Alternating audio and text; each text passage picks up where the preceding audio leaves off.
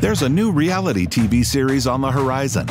JDog gives veterans an opportunity to serve once again in America's backyards. When I hire guys, I always tell them that our job sucks. We literally get paid to do what nobody else wants to do.